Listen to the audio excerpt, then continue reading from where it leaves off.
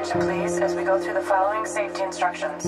If you are seated at an emergency exit, please review the responsibilities for emergency exit seating on the back of the safety information card, located in the seat back in front of you.